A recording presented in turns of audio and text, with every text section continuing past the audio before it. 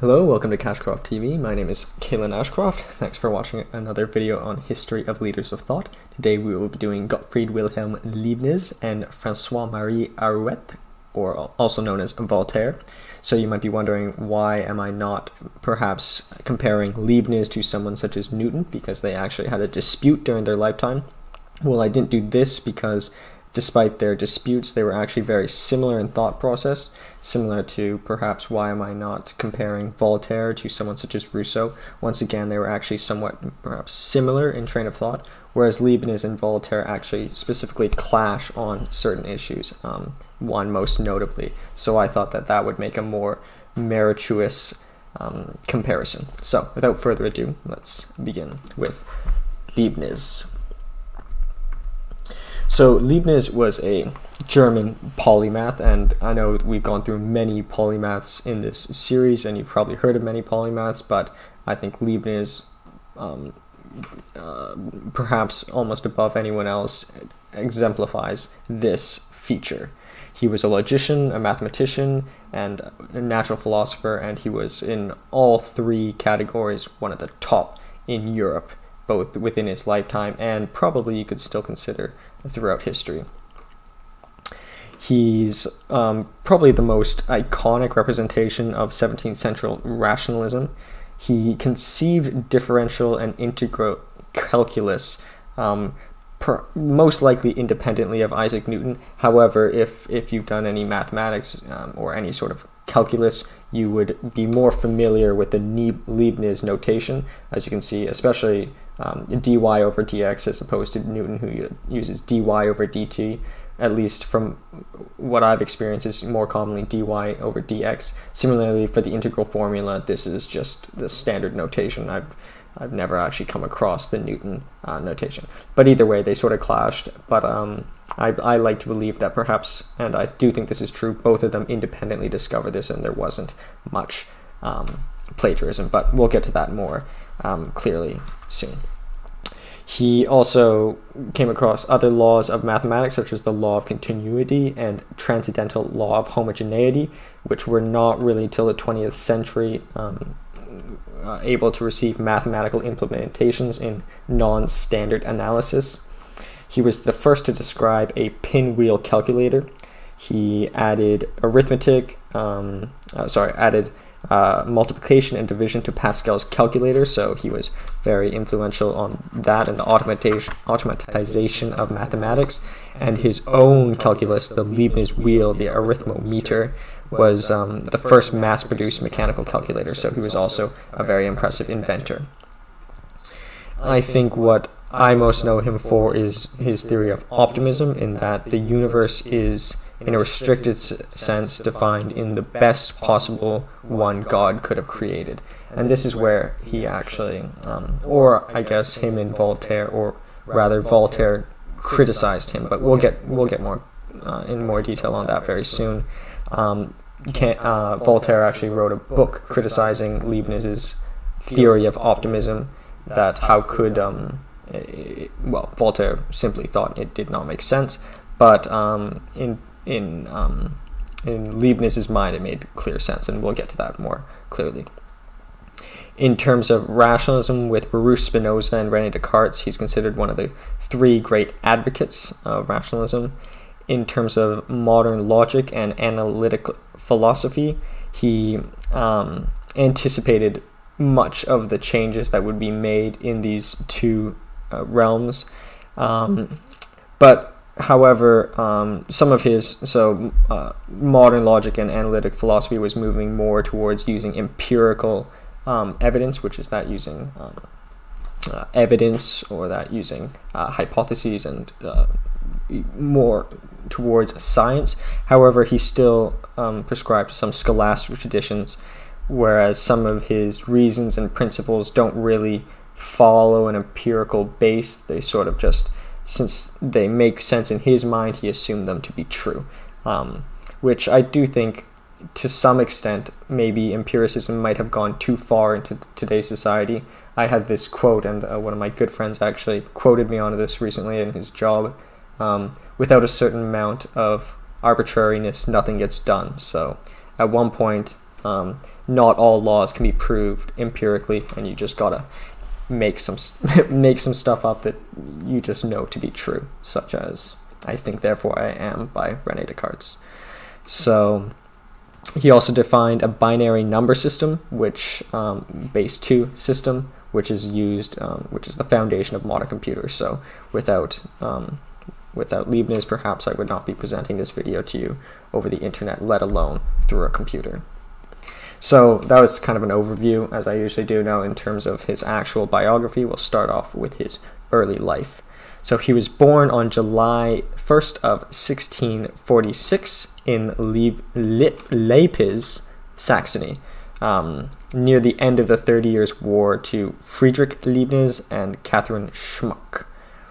He was baptized on July the 3rd at St. Nicholas Church. His godfather was a Lutheran theologian. So, somewhat of a, a, conservative background, one might say. Um, his father, Friedrich, was a professor of moral philosophy, and but he died at six years old when uh, Leibniz, the younger, six six years old. So he inherited his entire library and lived and was raised by his mother. Um, he inherited his father's library. So with this, he learned Latin by the age of 12, and he was exposed to a wide variety of readings um, supposedly, um, an anecdote was that at one point he wrote 300 verses in one morning when he was only 13 years old. Um, 13, 300 verses in Latin, which is that's a lot of writing for a 13 year old. Um, at the age of 14, he enrolled in his father's university and he achieved a bachelor's degree at 15 in philosophy. He wrote on the individualization and um, uh, and he specifically studied uh, Aristotle and um, yeah, and uh, Aristotle's thoughts on specificity and numericism. So,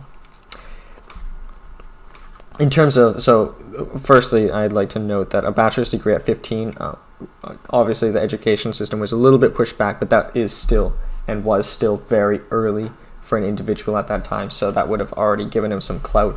And sort of at this point, you know, you could call it the snowball theory. He sort of started snowballing, academically at least, and probably in terms of fame as well at this point.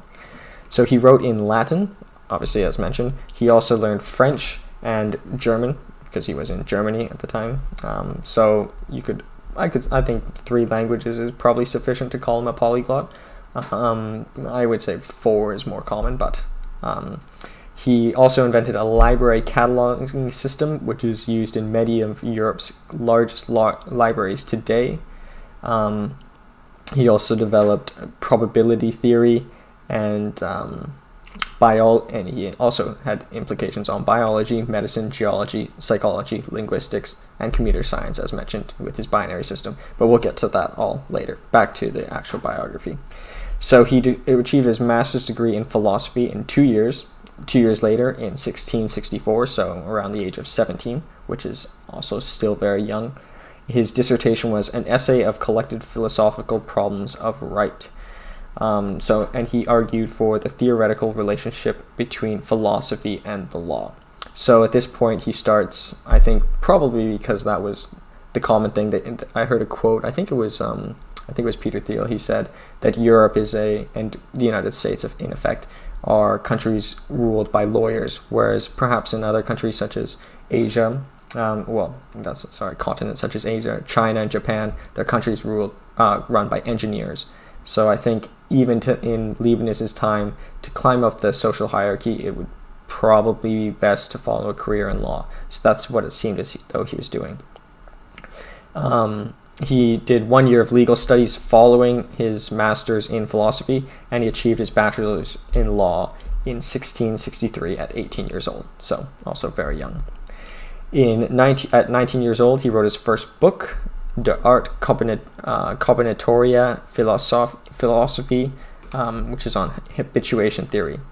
Um, and it, this he wrote it and it included some at the start some mathematical concepts but this is before he really took mathematics seriously and really had any education in mathematics. But i suppose it was probably alluding to that passion of his. Um, following this though he he was refused at the university a doctorate in law. So perhaps in the long term of his career, um, the better for him. So he left Leipzig and he went to University of Altdorf, where he was granted the degree, and uh, he was even offered an academic post in legal studies. However, at this point comes our first quote. Um, my thoughts were turned in an entirely different direction. So maybe at this point, after his first book, he realized um, he was sort of just following what the, the general consensus was or the general flow of society was to become a lawyer, but he his his thoughts had already moved in an entire, entirely different direction. Um, simultaneously with him um, just being at the cusp of it, I wonder um, if that's. Um, I think that's how it how it normally works. People people don't realize that they're following the wrong path until they're right at the gates, and then they throw it all away. So that's essentially what he did. His mind moved in an entirely different direction. Um, he said uh, at this point he also starts referring to him as Gottfried von Leibniz, which would have implied that he was um, member of the nobility. However, no documents confirm that. So I think soon we'll see a parallel to uh, Voltaire in that he was also somewhat of a social higher, uh, social climber, looking to sort of circumvent his born class and sort of climb to a, a higher rung. Into his adulthood, his first salaried position was to the Alchemy, Alchemical Society of Nuremberg, which he actually knew little about, but given his education, he was um, it was sufficient to attain that post. He was hired by Johann Christian von Boyneburg, um, who was a dismissed chief minister of the elector. So, uh, but ultimately, he was actually um, Boyneburg was re- reconciled and recommended Leibniz to the elector. So Leibniz went, um, um, hearing of this opportunity to work for the elector, he actually wrote a legal essay to win the favor, and he um, he was given the post of redrafting the legal code for the elector. So he did manage to get a political post, and he was willing to once again delve into the the science of law to attain this post. In 1672, his um, Boyneburg, the one who had vouched for him, died. However, he remained employed with his widow until 17, uh, 1674, when he was ultimately dismissed. In 1669, he was appointed assessor of the Court of Appeal, uh, another high role, but once again legal, and um, perhaps not the passion that he was born with, but the passion that he was kind of thrust into. He published an essay under the um, uh, under a pseudonym similar to Voltaire. Voltaire used many pseudonyms, arguing for a German candidate for the Polish crown. So I think um, we'll start to see that. I think he was a bit of a, a perhaps perhaps a German nationalist, or at least um, one might one might uh, be able to derive that from the thing that which soon unfolds. Um, so Germany at this time, so this he was born just at the end of the Thirty Years' War, so it was still very fragmented. Um, about twenty years later, at this point, and Louis the um, the Fourteenth the Sun King, which was the most powerful. He was the one who moved the French um, monarchy from Paris to Versailles in order to centralize the government. Was um, he actually Leibniz proposed that Louis XIV go on a conquest to Egypt um, in order to divert the attention away from Germany and protect protect Leibniz's home country. Um, so in 1672, he was actually invited to Paris to discuss this um, this mission into Egypt, which was actually really more to uh, Germany's benefit. However, the Franco-Dutch War broke out, and the plan was rendered irrelevant. Um, and colonial supremacy passed on at this point from Dutch supremacy to British supremacy um, uh, supposedly Leibniz, um, sorry, uh, Napoleon's later conquest in Egypt in 1798 might have been a later implementation of Leibniz's plan. So if that be true, that's another huge, huge influence on politics. And uh, yeah, uh, in while in Paris, while presenting this idea of conquest into Egypt, he met Dutch physicist and mathematician Christian Huygens. Um, and at this point, he realized that his knowledge of physics and mathematics was rather patchy, he referred to it. So, um, under Christian's mentorship and also through self study, he, he really delved into physics and mathematics, which were two things that had sort of, as we've seen, sort of always been a, a sort of passion to him, but just hadn't really been um, perhaps watered or fertilized. He, um, and this ultimately, through this um, spark, led to the discovery of differential and integral calculus, as well as other great discoveries. I guess I'll, I'll note the other one now to get just delve into some mathematics. This is a um, a formula for the Leibniz formula for pi. So this being pi over 4 equals 1 minus 1 over 3 plus 1 over 5 minus 1 over 7. As, as you can see, each of the um, denominators increase by, uh, um, by 2 each time. Um, however, the problem is some of these terms, for example, 1 over 3 um, is uh, uh, 0. Point, uh, three three three three three three three. So you have to use so many um, uh, terms just to get it accurate.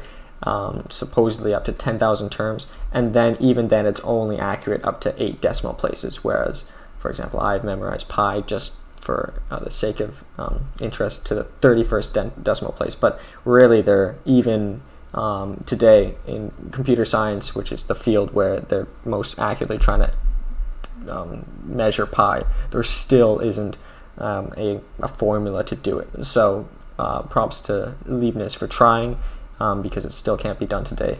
Supposedly, um, an art, uh, a hypothesis for artificial intelligence, which I found was interesting, was if you had create if you were to create a computer system whose sole objective was to calculate pi, and through this it would perhaps take energy grow itself. And that could be the spark for life or any sort of uh, infinite problem.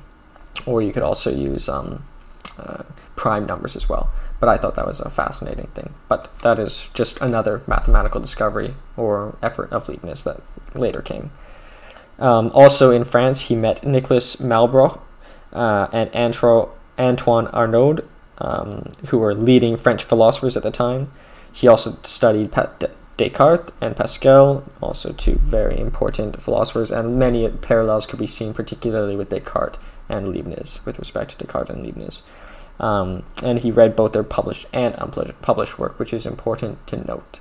Um, as in the case of Alexander the Great, supposedly he read a lot, or he got special training from Aristotle that others didn't have access to. So, to what extent is Leibniz a reflection of these individuals is um, it's hard to say, but yeah. He also befriended German mathematician uh, von.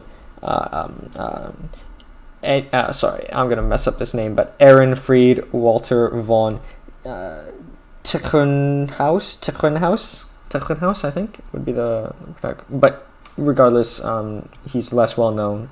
But at the time, he was very famous and more famous than Leibniz, and once again influenced his fascination and facilitated his passion for mathematics. So after this, um, going to Paris and the um, Franco-Dutch War broke out, the need for the Egyptian War was no longer necessary. So um, the elector sent Leibniz and his and his nephew on a related mission to the English government in London. So once again, to probably divert the English government away from the fragmented Germany and pr- protect Leibniz's home country. In London, he met Henry Oldenburg and John Collins. He met the Royal Society and demonstrated in 1670 his calculating machine, which could do addition, uh, subtraction, multiplication, and division, and he was quickly made an external member of the Royal Society. It, uh, the elector died in seven, uh, 1673, so he had to have a new patron. Um, he went to Patri- uh, Paris and met Mainz. Um, oh, so he, but sorry, he had to go and find a new patron, patron, but he did not return to Mainz. Instead, he went to Paris because he found that Paris was more intellectually stimulating than that which he experienced in Germany, perhaps because the larger focus on physics and mathematics at the time, as well as philosophy, as he saw in Rene Descartes and Pascal. Um, however, the French Academy of Science said they had too many foreigners and they were not able to admit him. Um, but later they reluctantly accepted two years later. Um, um, an, from an offer from Duke Jean Frederick and oh um, sorry pardon me. They later accepted um, quite a, quite a few years later actually. Um, closer to his death actually. So with this he reluctantly accepts an offer from Duke John Frederick Brunswick um, a counselor in Hanover in 1676 so this is where I actually think perhaps Leibniz's biggest um, implication comes. So there was the the House of Hanover, which had German roots, which ultimately, with George the First, takes on uh, where the uh, ultimately gained the British crown, and Leibniz, given his fame, was heavily facilitatory into this. So I'll, I'll get into this in more detail. So he starts working for John Frederick of Brunswick in Hanover and Brunswick at the time was rather small. Um, however, with Leibniz there, it ended up being adding a huge amount of clout for them. So he was an advisor and friend to Sophia of Hanover, Sophia Charlotte of Hanover, and the Queen of Prussia, as well um, Caroline of Ansbach, Ansbach, that's the Queen of Prussia, um, despite the disapproval of King George I of Great Britain and their spouses and um, the other women's spouses. So it seems like he actually um, ended up winning the favor of the wives and um, daughters of the Hanover family more so than the men, despite him probably benefiting the men more. So, uh, what does that have to do with his character? Perhaps maybe he was more of a, a romantic, or perhaps maybe he was um, a little bit um, uh, he was less of a suck up, maybe in uh, to use a, um, a uneducated word. Perhaps he was not um, as respectful as the House Hanover would have expected of him.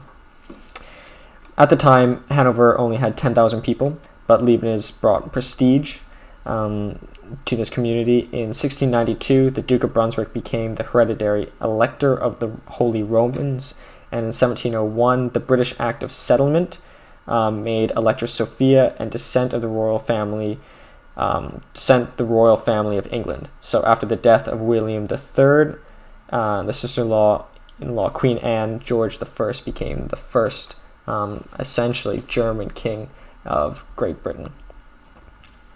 Um, he helped promote this act, the British Act of Settlement, and um, uh, despite um, uh, which promoted a pro- where the objective of the act was to promote a Protestant English and Irish crown. So switching over from a, a Catholic pre- crown previously. Um, and occasionally he presented the, um, and promoted it in the British Parliament.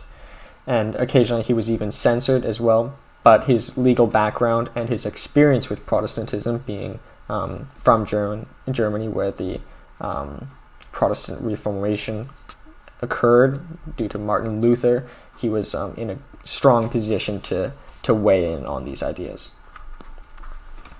So uh, during this time, although he was um, working on legal uh, matters for the, um, the Brunswicks and the House of Hanover, they also tolerated his efforts on calculus, which he was working on. And in uh, 1674, he start um, he started most of his work on calculus, and it was mostly done by 1677. So, and he published his work on calculus in 1684. As well, he was also working on his mathematics at the time. Uh, the two most important in 1682 and 1692 uh, were both published in a journal which he co-authored with a fellow German, Otto Menck. Um, which they started in 1682.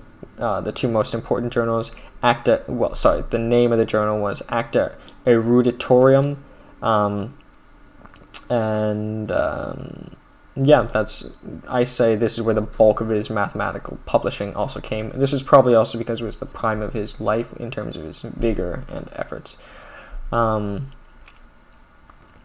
so at this time, Elector Duke Ernest Augustus commissioned Leibniz to connect the Brunswick House with to Charlemagne. So Charlemagne was the founder of the Holy Roman Empire. So this would have given a lot of clout clout to the House of Hanover and sort of give them that divine right of kings that they needed to uh, attain the crown.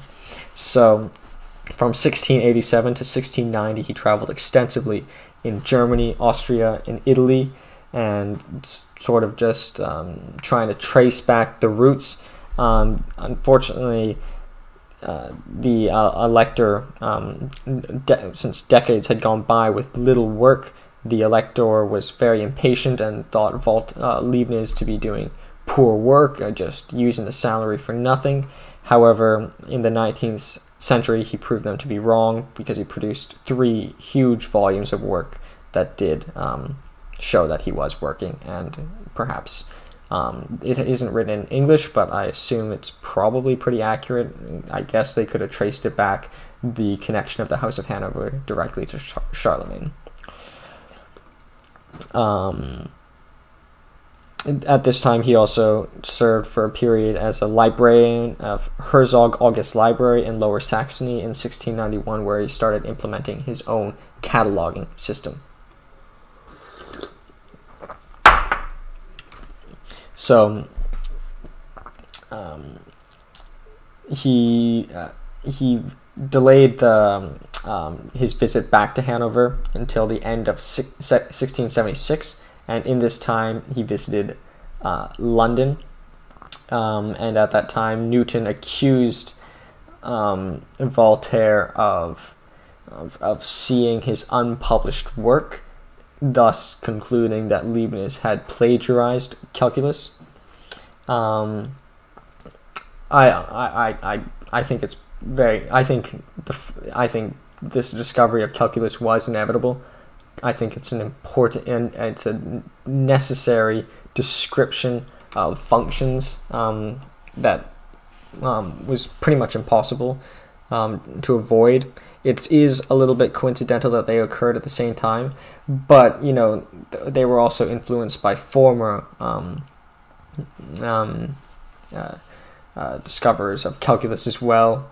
Um, I think based on Leibniz's character in that, for example, with uh, with proving whether the Hanovers were related to Charlemagne, he waited until he had actually pr- produced a suffi- sufficient amount of material before publishing it. I think that that uh, alludes to his integrity of work and um, not just striving to achieve fame. And I don't think that he did copy uh, Newton, but um, you can believe otherwise. And I, I think it's better to just remember history in that both were the victors. I think that is the best way to remember it. Um, he spent. Uh, he also went to. Um, uh, spent several intense days with Spinoza, um, who had just finished his masterwork on ethics, which um, I cover in a previous video. So um, ethics was hugely influential in terms of philosophy, and I imagine it was very influential on Leibniz and Leibniz's own philosophies. In 1677, he was promoted to the Privy Council, promoted to Privy Councillor of Justice, which he held for the rest of his life. He served three consecutive rulers of the House of Brunswick as a historian, politician, uh, political advisor, and librarian, um, which actually was very important, particularly in respect to the librarian in producing records for the House of Hanover uh, and the history of the House of Hanover. He was pr- um, promoted using, oh, at one time he promoted using windmills to improve mining in the Harz, Harz Mountains, which the project was ultimately shut down in 1685. But I think this alluded to the later discovery of the combustion engine, which um, um, it was it was mining in that uh, ultimately developed that discovery, and I think he was alluding to it. it he just lacked the efficiency. So yeah. In 1708, John Keill, with Newton's blessing, accused um, for, um, Leibniz formally of plagiarism, um, and it's what was known as the uh, calculus priority dispute began, and the Journal of the Royal Society upheld the charge um, that Leibniz did copy it. So the British sort of um, abandoned Leibniz at this time, but um, there were many reasons why they did that. Firstly, perhaps because Newton was British, and perhaps they just wanted to promote uh, a local individual. Um, but either way, once again, I'd like to assume they were both the victors. In 1711, he met Tsar Peter the Great, and they met with him in Hanover to discuss and um, Russia and Russian um, um, interests. And from then on, Leibniz became fascinated in the nation. In 1714, Queen Anne died, and friend Dowager Electress Sophia died. Um, which those were probably the, his two closest relations in the, the Brunswick community. King George I of Great Britain became king under the Act of Settlement, um, and Caroline of Ansbach in 1701, um, Princess of Wales, continued to vouch for Leibniz, so he still had one friend in the community. Uh, George I, however, did not include Leibniz in the court in London um, because, for two reasons. Firstly, at this point, Leibniz still had not produced the volume of for Brunswick, the Brunswick families that was commissioned to link them to Charlemagne, and secondly, he did not want to insult Newton or the Royal Society, so Leibniz was essentially cut off despite um, Caroline of Ansbach vouching for him. In 1712, um, uh, he spent a two years residency at as imperial court counselor to the Habs Habsburgs in Vienna. Um, and in 1716, um, he died in Hanover. Uh, none of George I's community and camp came to the came to the funeral. Um, the Berlin Science Society didn't show either, and um, to honor this individual. So kind of a kind of unfortunate. It seems as though they all used him for political reasons, used his mind for academic reasons, and few showed up at his funeral, despite him even being a lifelong member of the Berlin um, Science Society. His grave remained unmarked for 50 years. He was fortunately eulogized before the French Academy of Sciences as he was admitted as a foreign member on behalf on in 1700 but you know uh, they originally rejected him as well so um, it was kind of a um, I don't know kind of uh, um, retroactive I, I, I, would say. Um, the Duchess of Orleans um, the niece of Electress Sophia was um, there at the eulogy to present it. He never married. He uh, complained occasionally about money, but um, after his death, he gave his sole heir, his sister's stepson, a substantial sum of money. So it was evident that the Brunswicks did pay him well, despite him complaining about the money. Um, he backdated some manuscripts, which might be evidence that uh, he was maybe not ethical and might have perhaps copied some individuals, such as uh, Newton. But um, uh, I think once we see Voltaire, I think using pseudonyms and back um, backdating things was not uncommon, and I, I I'm sure that Newton probably had done similar things at some point as well. He could be sometimes unscrupulous with diplomatic endeavors, and um, obviously perhaps upset some people at some time occasionally. But he was known generally to be a charming and humorous, well-mannered individual with great creativity, and he had friends throughout Europe and despite a few powerful people who who um, shamed him, the vast majority of people liked him. He was Protestant, but appreciated um, all aspects of religion, and he respected people of Catholicism. Um, unlike the common Protestant belief, he did not think the Pope was Antichrist. Um, he's considered a philosophical theist. He um, or a uh, Trinitarian or follows a Trinitarian Christian God. Um, there's meaning there's one God, but three co-eternal persons: the Father, Son, Holy Spirit. Just some.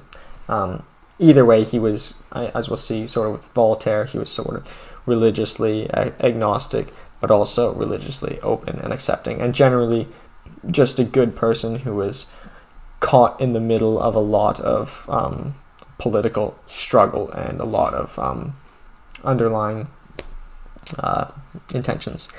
In terms of his thoughts, to briefly go on it before moving to Voltaire, most importantly, I think for me, I find his theory of optimism to be fascinating in that um, God created um, always chooses best, and the world is in since since there is an infinite amount of ways it could have been arranged, it must have been done in the perfect way.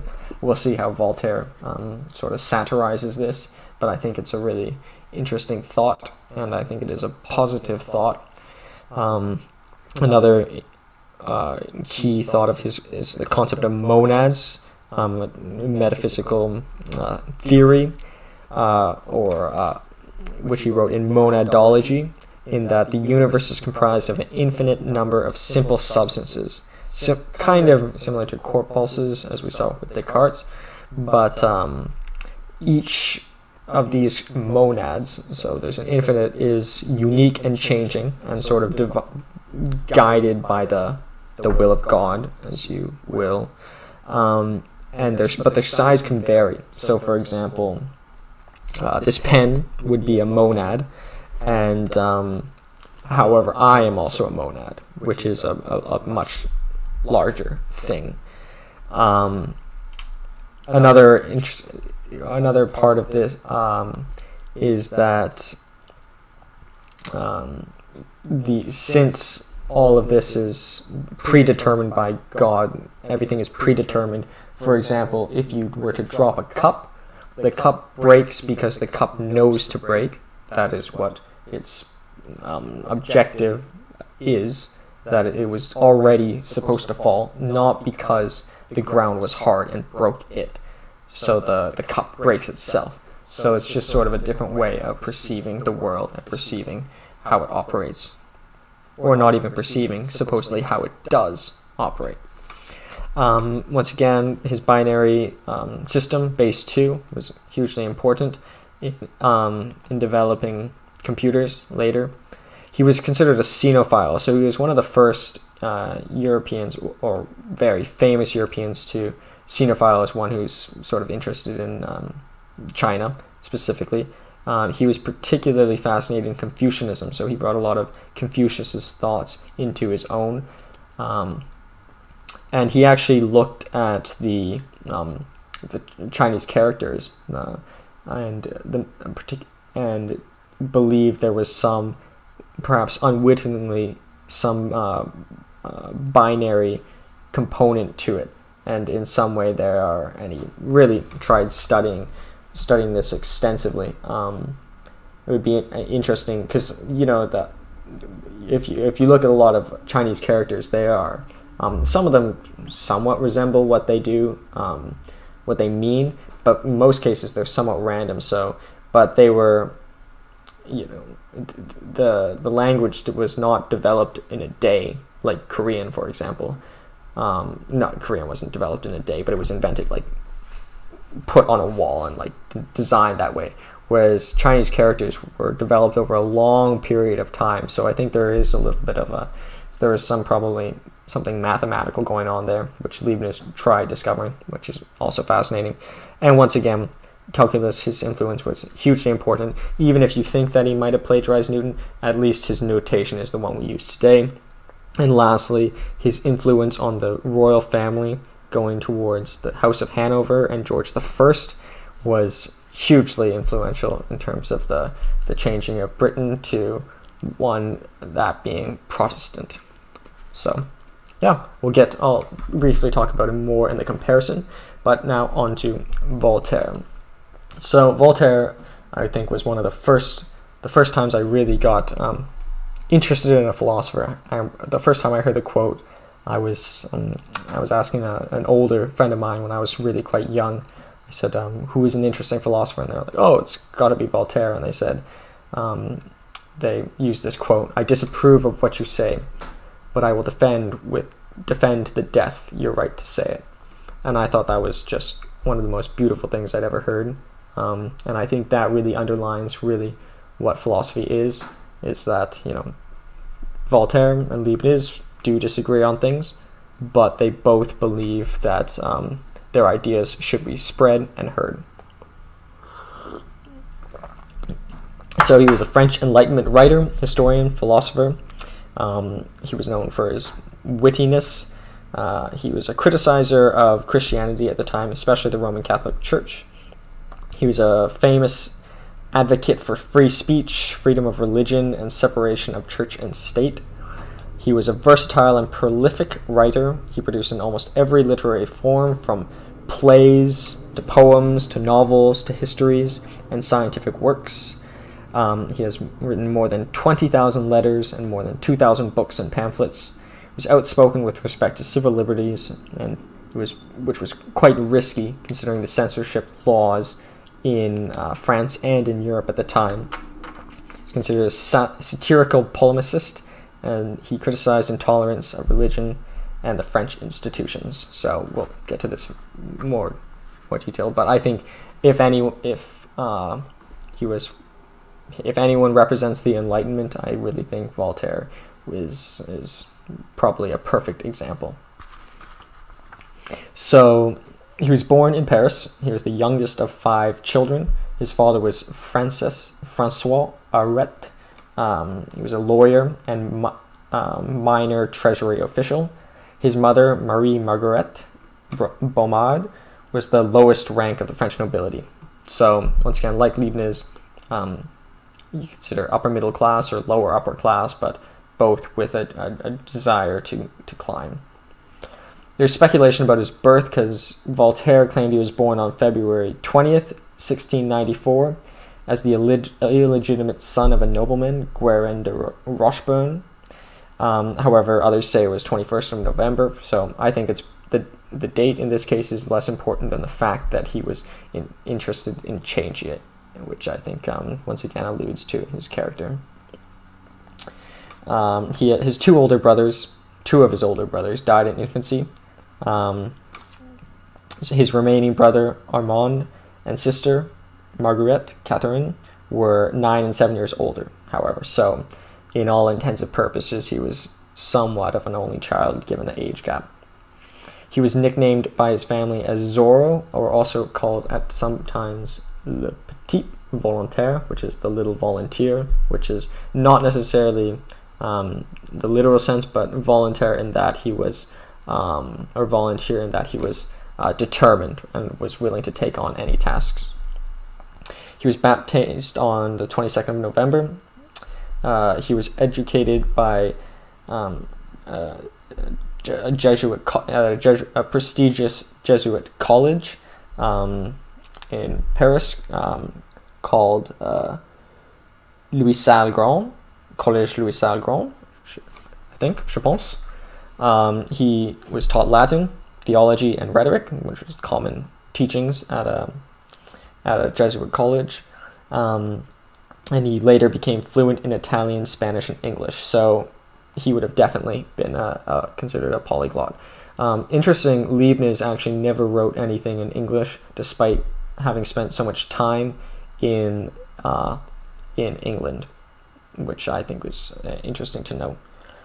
Um, he grad um, after he graduated, he wanted to be a writer. His father um, despite his, his uh, against his father's wishes that he become a lawyer. Kind of perhaps maybe a similar thing that that which was going on with Leibniz, but Leibniz actually did become a lawyer, but Voltaire had no interest in doing so. So he pretended to be an assistant to a notary in Paris while he was actually writing poetry. Um, his father eventually found out and sent him to Caen, um, sent um, in Normandy to go and study law. But he continued to write, and um, while there, producing essays and historical studies, his wit made him popular amongst the aristocratic families very early on. So he was already sort of punching above his weight class, one might say. In 1713, his father obtained a job for him as secretary to the new French ambassador in the Netherlands, Marquis de Chateauneuf, um, who was actually the brother of his godfather.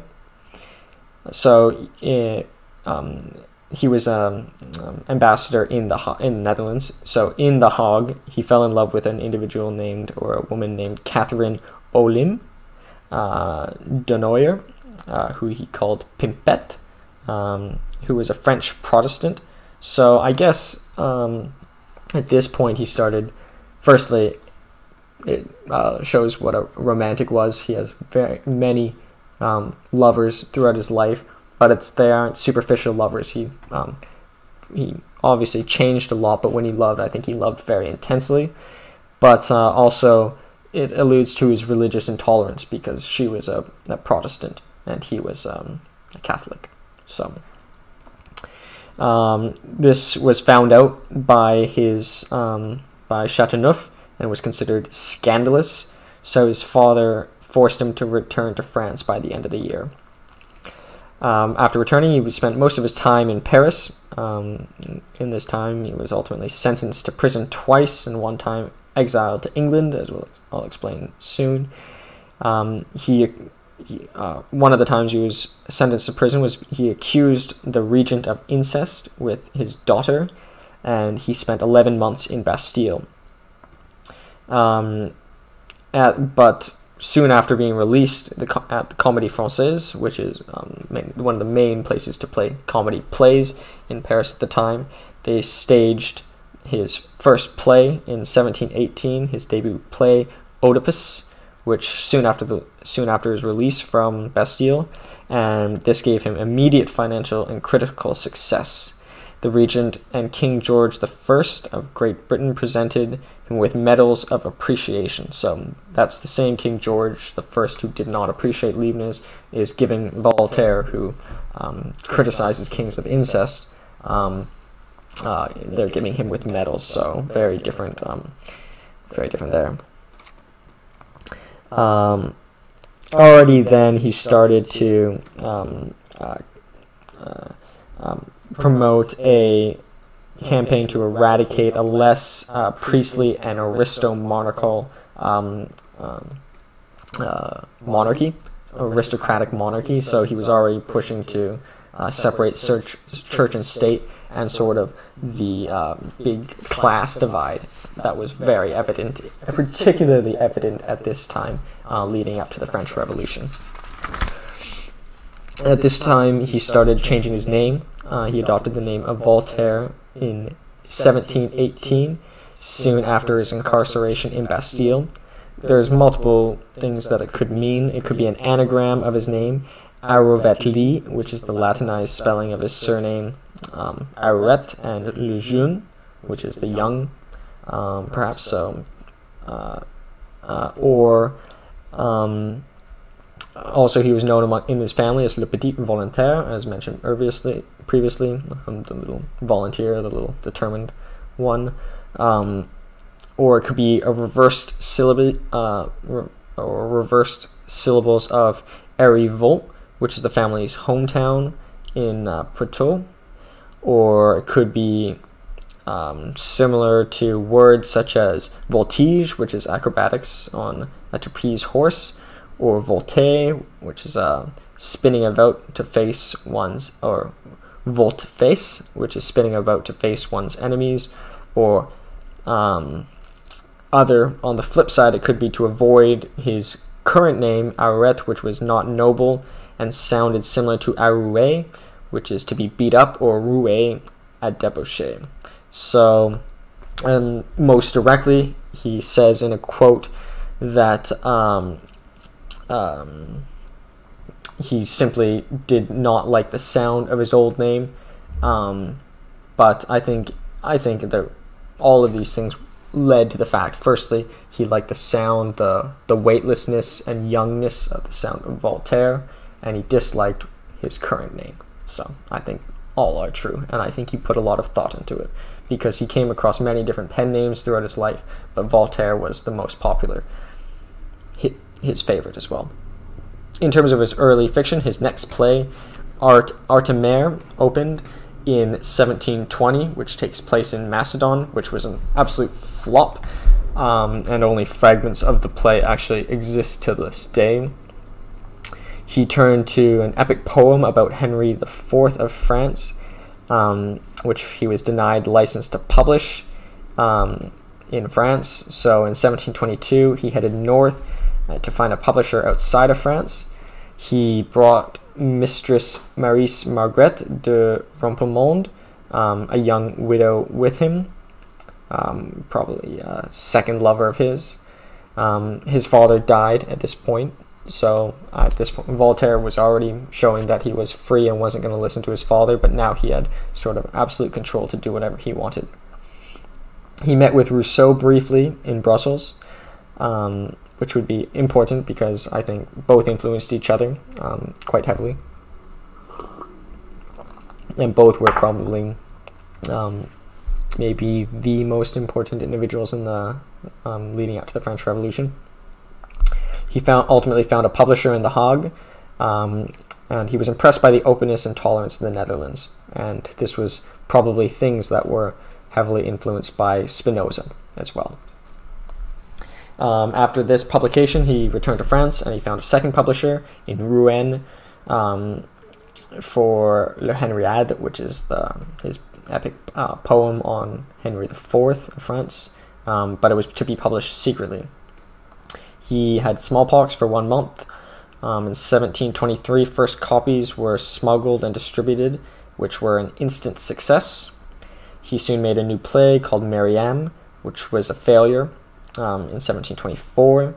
He reworked the play, however, um, and it was played at the Comédie Française in 1724 later that year, and with a much improved reaction, and it was ultimately played at the wedding of Louis XV and Mary uh, in September of 1725. So I guess once again, um, the little determined thing, the play was a flop, but he reworked it because he knew it had potential, and it ended up being a hit to be played at a king's wedding. Um, he spent some time at Chateau de Cirey uh, in 1733. Emily de Châtelet. Um, he had a 16 year affair with this woman who was 12 years younger. Uh, she was a mathematician and she was a married mother of three. So um, Vol- Voltaire knew no his love knew no bounds. He didn't care if they were married, had kids, they were younger, um, but he he certainly loved this woman as well. At Cirey de Sur Blaise, the um, which is between Champagne and Lorraine, if you know um, the regions of France. He um, he paid for the renovations of the chateau, and even the husband he got along pretty pretty well with. So together they studied the natural science, um, nature, um, particularly the nature of fire, and amassed 21,000 books, which was a, a, a, still even a massive library, um, private library today. Um, uh, probably he was interested in the natural science partially by the inspiration of Newton. Um, he also got fascinated in optics.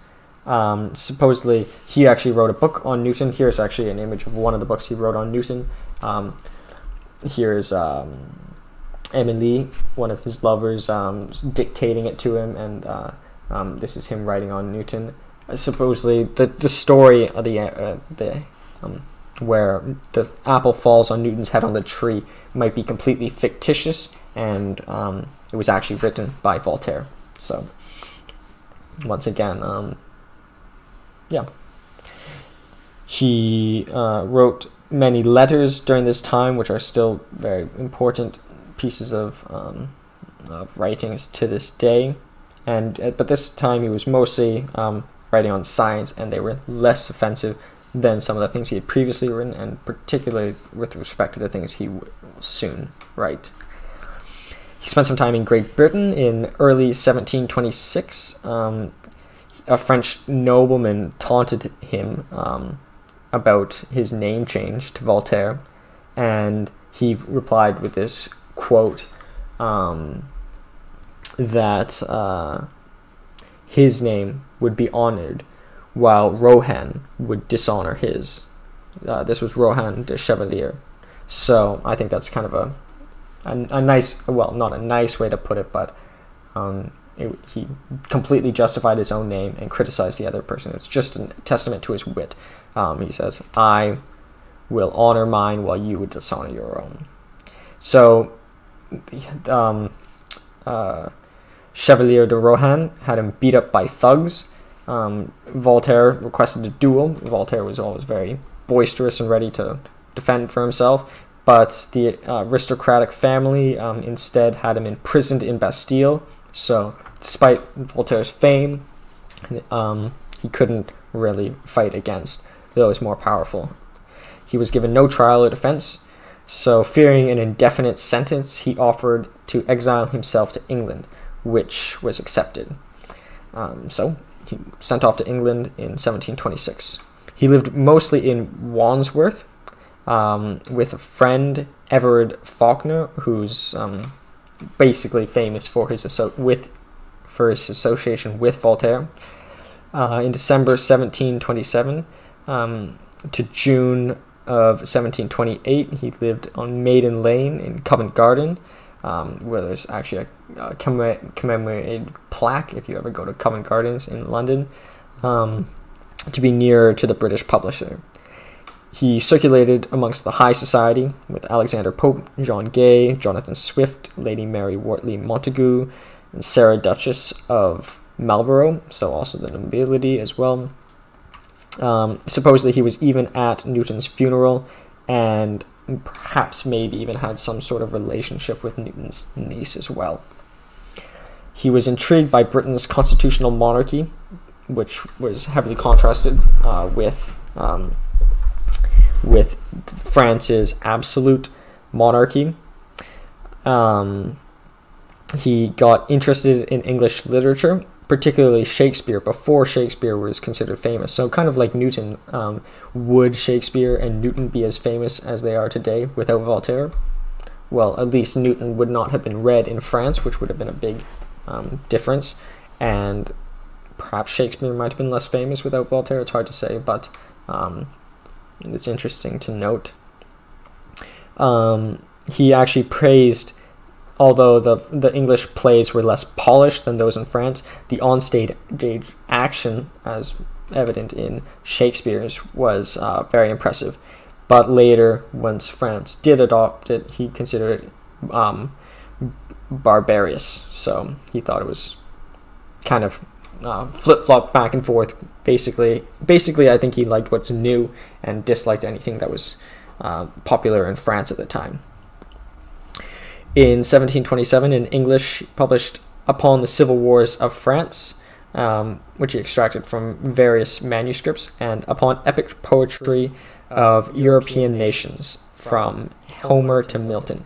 So, kind of as um, he was also a bit of a biography, and he also was great at writing in English, which is important to note, unlike Leibniz. And um, yeah, so not only was he an artist, he also was uh, uh, fascinated in history as well. He, in, on his return, um, two years later, to France, he slowly moved back. He spent two months in Dieppe first, and then moved to Paris, um, where he, a French mathematician, um, proposed buying up the lottery to pay off the French government debts um, for about one million, um, which made him very rich, approximately 1 million French livres, which was, this was promoted to him or suggested to him by Charles Marie de Condamine, a, um, a Jewish financier at the time. Um, he was granted control over um, his father's trust because he at this point had proven that he was um, financially stable, and at this point he was called considered indisputably rich. So perhaps um, uh, moving up the, the economic hierarchy, but still, because of his actual real name, he could never be really considered upper upper class or high nobility. In 1733, he produced a play called Zaire, which he dedicated to Fawkener, his friend in the United Kingdom, um, and he praised English liberty and commerce in this writing. He also um, and he wrote letters um, concerning the English nation, um, essays in London and letters. Um, particularly in France, he wrote uh, Letters Philosophiques, which um, praised the English system over the French, which was publicly burned in France, and he was forced to flee Paris again. He spent some time in Chateau de Saucy, um, where he wrote Elements of Newton, which is this book here. Um, and he began to oppose uh, Leibniz at this time, perhaps because he just liked Newton.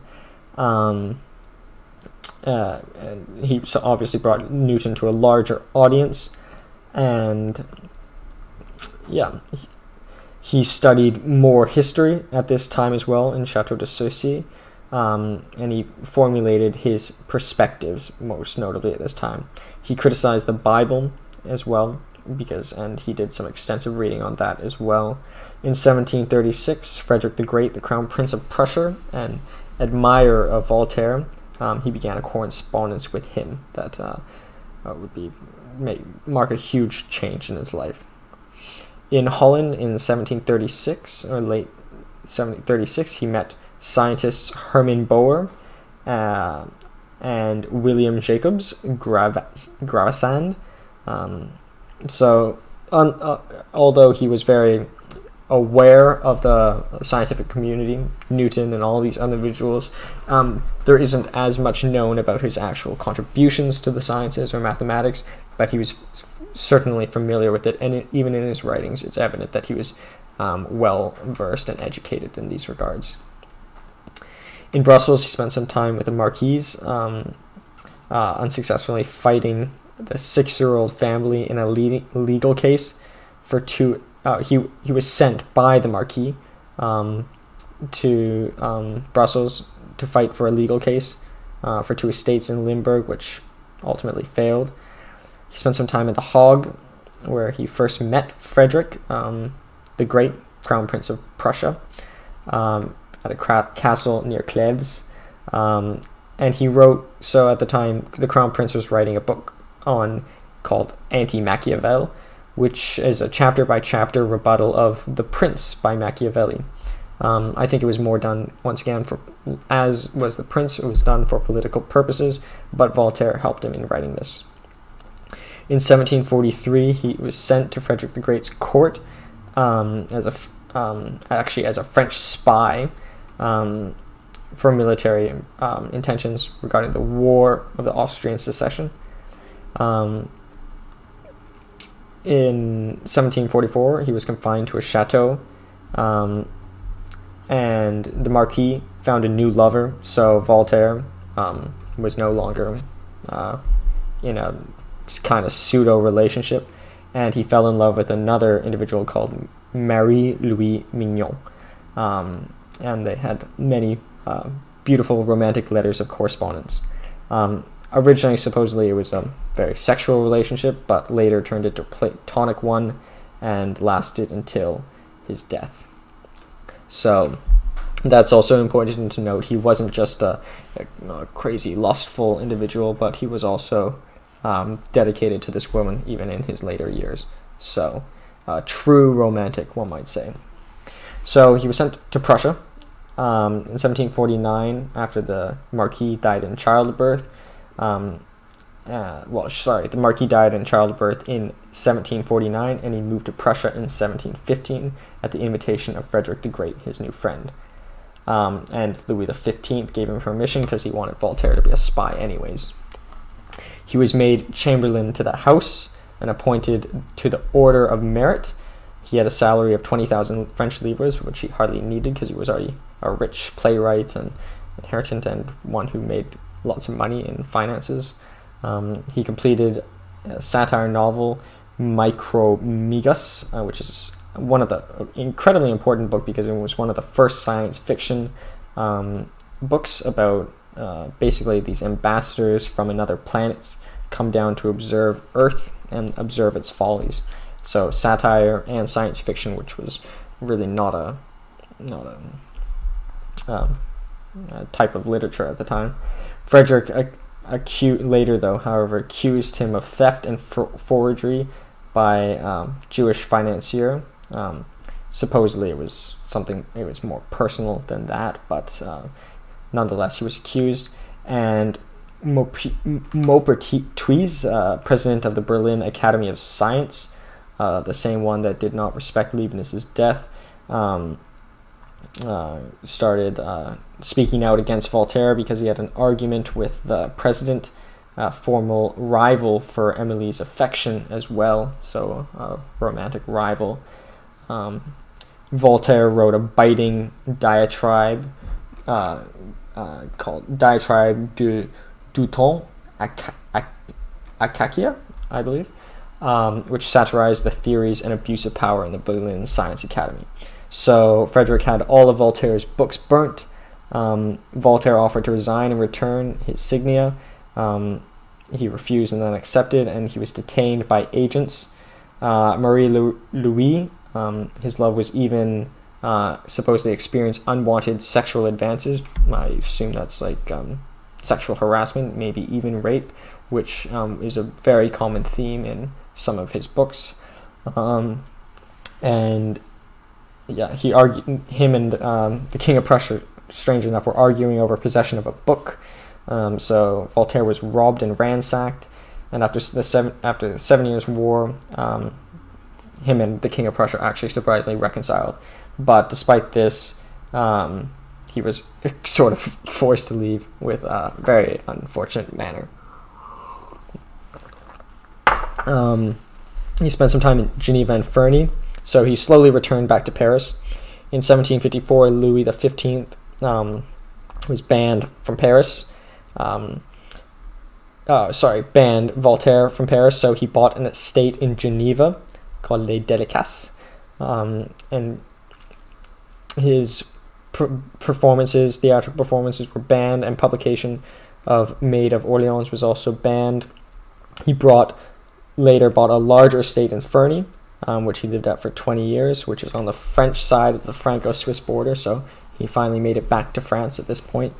In 1759, he published Candide ou l'Optimisme. So this was, um, uh, I actually have a little copy here. I, I bought this little book in France. It's uh, very like I recommend this to anyone. It's a really, e- it's a really easy read. Um, it, um, by Voltaire, and this is where it directly contrasts Leibniz. So, um, it, it, the the title character is Candide, um, which essentially um, is, is a joke because he's supposed to be naive because basically everything that could go wrong goes wrong for this individual. Um, he loses his wife. Um, there's tons of rape. He loses all of his wealth, and all this time he's with this sort of philosopher.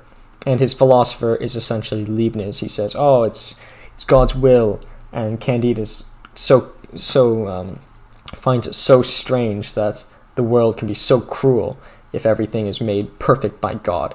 Um, and I'll get to the conclusion of uh, what how he concludes it later, but it's just an absolute uh, beautiful read. But I'll get into the his actual philosophy at the, the very end.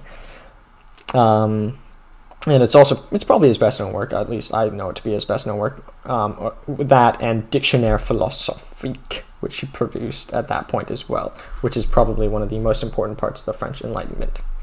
In 1764, that's when he produced the Dictionnaire philosophique, which is a series of articles mainly on Christian history and dogmas.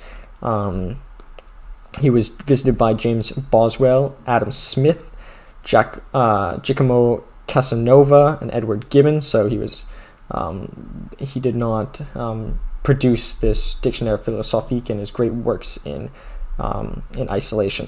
In 1762, um, he was unjustly uh, persecuted. Um, he was uh, and later in his life, starting in 1762, he was a champion of unjustly persecuted people. So most famously, uh, Huguenot Jean Calas um, was uh, um, was persecuted for um, as a result of religious intolerance, and Voltaire successfully overturned the charges and defended the individual.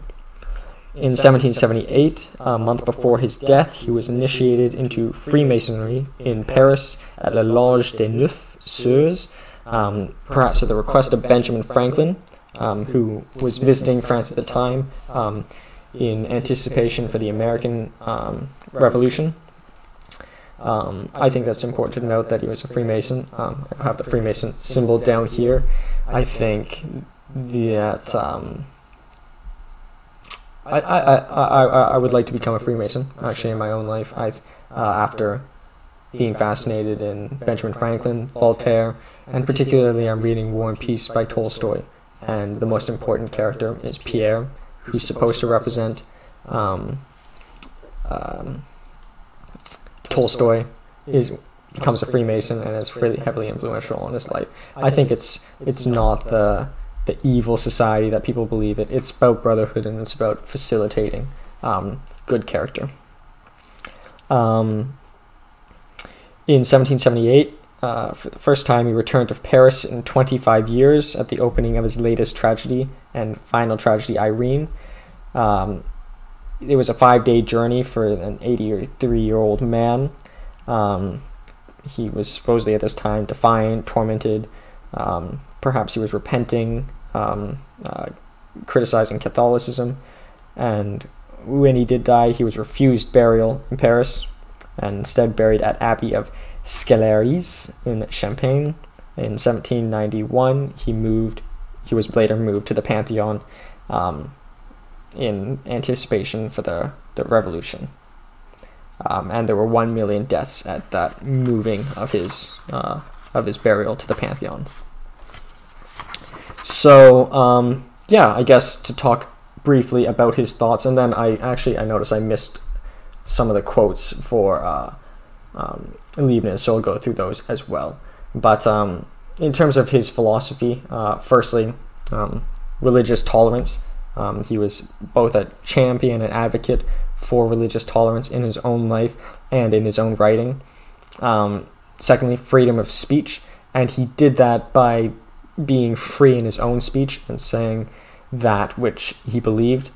And um, uh, he, I think he was a symbol of love and romanticism, which um, there are few and far between in today's society. And then, um, yeah, I think I'll go through the quotes on Leibniz and then I'll, I'll talk about the comparison. So um, we had this one God assuredly always chooses best. That's optimism. Uh, monads are the ultimate units of existence in nature. He who hasn't tasted bitter things hasn't earned sweet things. So that's just sort of the balance of life. Um, you know, happiness doesn't exist without sadness. Um, I think that's true. I think a lot of people today expect to be happy all the time. I think that's an impossible fallacy. Um, I don't want to um, divert too much, but there's a an individual I know said uh, one uh, one in five people suffer from depression, and I think that's just just a wrong statistic because firstly it makes makes depressed people feel like they've got some sort of disease. I know there is chronic depression, which is um, does affect some people, but a different way to take the same figure is not that one in five, 20% of people have depression. It's that people are depressed 20% of the time. It's just a way of flipping the statistic, and it, some people swing more, some people are bipolar, but that's a better way of addressing it rather than if someone is depressed saying like, "Oh, you have something that other people don't," and sort of isolating them. But uh, I'm I'm going on a tangent. Uh, nothing is necessitated. Who oppose it? Uh, oppose is possible. So this is just one of his um, uh, perhaps maybe scholastic beliefs in that you know if something is uh, is not true, therefore the opposite is true and vice versa.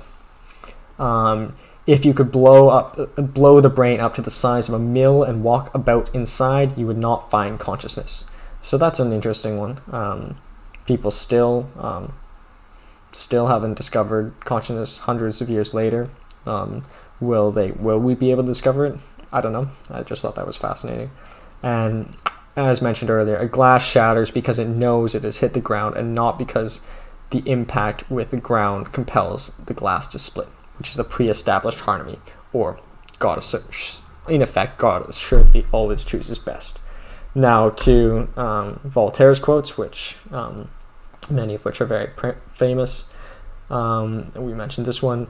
If God did not exist, it would be necessary to invent him. So, although he did criticize the Catholic Church, um, he was very open to religious tolerance and just the idea of religion generally. Common sense is not so common. A common quote. Um, those who can make you believe absurdities can make you commit atrocities. Um, that's interesting. Um, interesting and almost ironic as he would be the one to sort of perhaps spark the um, French Revolution, where many atrocities did occur. Judge of a man by his questions rather than by his answers. I think that's a beautiful one, and that's a good way just to uh, live by. God is a comedian playing to an audience too afraid to laugh. Uh, I think that's that's funny. So I guess we can start talking about the the book Candide, which is so famous. So um, the world is um, essentially so cruel, and how is it possible that God could have created it? And Voltaire experienced his own fair share of hardness, uh, perhaps maybe more so than Leibniz. Maybe that's why he thought that Leibniz could be wrong. Voltaire's uh, lover was um, sexually assaulted. Um, in the book, he writes about all the rape and killings. Um, he did not even live through the, the French Revolution, and that would have made it hard to believe that God always chooses what's best, uh, which which is best. Um, but at the very end of the book, um, he has. I'll go through these last two quotes first, but love truth, but pardon error. That's a good one. I die adoring God, loving my friends, not hating my enemies, and detesting superstition. So he's not saying that Leibniz is um, wrong or overly optimist, optimistic. At the very end of the book, he has this quote, um, which I think a lot of places misquote it, but either way, that here is how it is. This is well said, replied Candide, but we must tend to our garden. So the discussion goes at the end of the book. All these things had bad, bad had happened to them. Um, also, they had their fair share of goodness as well, but the vast majority of bad things, um, killings, rape, murder, um, but at the end of the day, we must tend to our garden. And there's a lot of um, different uh, interpretations of what this means, but but basically, it's kind of a um, just a, a, step back and just create goodness um, out of nothing, and don't maybe in uh, to criticize Leibniz in this respect. Don't assume that everything will be good make the good. Um, I think that's what he was trying to allude to. So yeah, I think that that is the that, that is the main point of uh, con, um, contrast where, where, the two individuals contrast each other, and uh, they're both very optimistic people despite their poor mistreatment. Uh, that's why I think they're both uh, amazing individuals who inspire me, and I hope perhaps might inspire you. So thanks for so much for uh, watching this video. And uh, yeah, I hope you continue to support. Thanks.